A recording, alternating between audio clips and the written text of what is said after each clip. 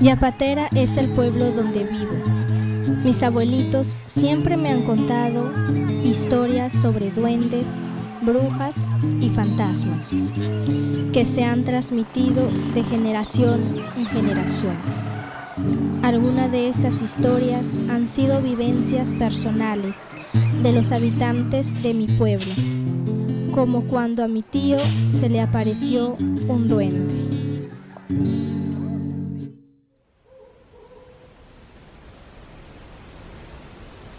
medianoche mi papá me, me un poco pasto, un poco pasto, una burra negra que tenía, y me alzó la, la burra. Yo chiquitito, de 12 años, menos de 12 años, 10 años, enamorado, emponchado, burro, una burra negra. Entonces, por un camino que llamo el Puente Milo, ahí vi encontré a un, ¿por qué sería, no? Sería el demonio, ¿qué sería? Encontré a un señor en un cabello blanco, cabello blanco, pero bien brilloso, brillo, brilla como oro el caballo, y él también encima del caballo, ¿ya? Dice, digo, le dije yo, 10 tío, ¿ya? pasé y se quedó parado allí.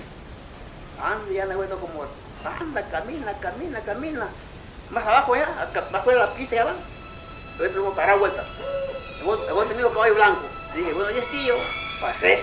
Camina, camina, camina. A un canto llama la, la la de muerto. Ahí cuando te encontré parado de solito. Entonces ya, ya, me, ya me dio miedo, ¿no? Me sorprendí. Y digo, bueno, ya es tío. Y pum, se paró, me privó señora, señora Cástula, señora Cástula, al hijo, el hijo está desmayado ya por, por, mi, por, mi, por mi camino. Chuti, los viejos que lloraban, ay, la, ay, la gente, la gente de colores se ha muerto, Castulito. Mentira, estaba, estaba, estaba privado.